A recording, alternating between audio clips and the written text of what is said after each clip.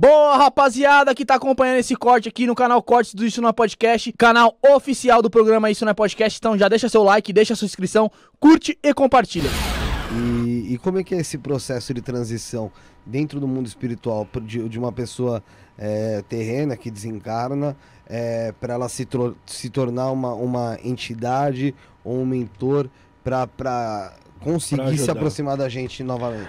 Ah, existe muito, existe muitos caminhos dentro disso, né? Muito estudo dentro, não é só ah, pessoa que desencarna e fala, eu vou ficar do, eu gosto de você, seu nome Felipe. Ah, eu gosto de Felipe, morri, agora vou ficar do lado do Felipe ajudando ele porque eu amo ele. Ela vai mais te atrapalhar do que te ajudar, isso acontece muito. Ela, não, ela precisa estudar muito no mundo astral, porque quando nós que estamos aqui no mundo astral viemos aqui para a crosta, aqui é muito denso. O magnetismo de vocês é muito grande.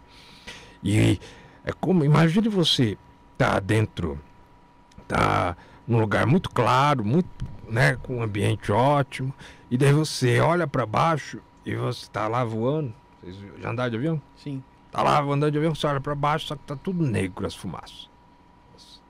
Aí você mergulha naquele negócio que você não consegue ver nada direito. Porque até para o mundo astral, quem desencarna, ele não vê direito, porque ele não tem lucidez às vezes. Se ele não tem consciência, se ele não tem estudo, ele não tem um, um, uma passagem de ir crescendo, evoluindo isso dentro dele, ele vem para cá e não está vendo nada, né? às vezes ele nem sabe que morreu. E quando ele vem, o magnetismo daqui é muito forte, puxa ele. Então você está lá numa crise de ansiedade, gruda, você puxa. Às vezes vocês puxam mais, os, o verdadeiro encosto é quem está encarnado, puxa o povo e você andando. Então precisa de muito estudo. Para um guardião, ele vai estudar por muitos anos, auxiliar muito, até poder começar a vir para cá, auxiliar outros guardiões que têm mais conhecimentos. E assim vai passando. Como é aí, para você fazer qualquer coisa, você precisa de muito preparo.